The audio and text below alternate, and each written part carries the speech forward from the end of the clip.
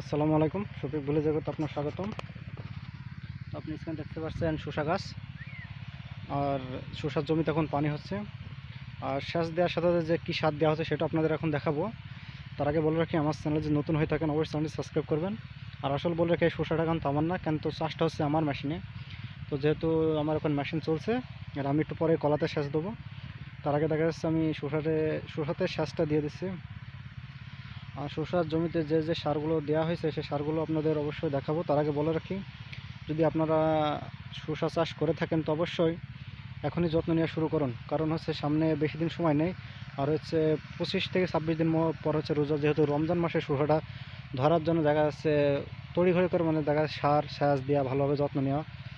তো আপনাদের দেখাবে সারগুলো।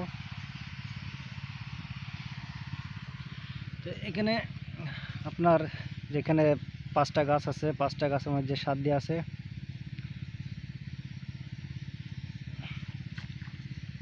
আপনার আছে ফসফেট এই সরি আপনার দেওয়া আছে এসওপি আর আছে ইউরিয়া এবং ড্যাপ জাস্ট এই করা। আর অন্য কোনো সার দেওয়া নেই। তো সারগুলো যদি আপনাদের এখন দেখায়, অবশ্যই আপনার স্ক্রিনে দেখতে পাচ্ছেন এগুলো। সারগুলো দেওয়া হয়ে গেছে। এখন যদি আপনারা যত্ন না নেন, তাহলে দেখা যাচ্ছে আপনার ঠিক সময় বাজার ধরতে পারবেন না। আর যেভাবে আপনারা শসা লাইন দেওয়া আছে, এটা লাইন বা লাইন দেখা যাচ্ছে